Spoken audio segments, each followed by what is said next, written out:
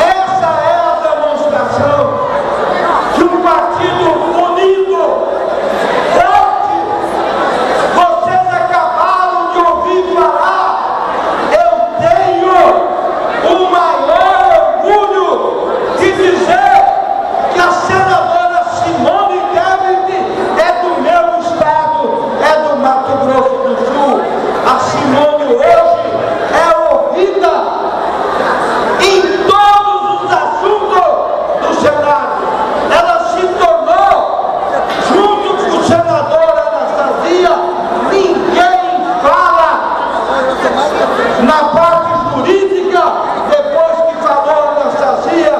depois que falou essa grande senadora, orgulho de Mato Grosso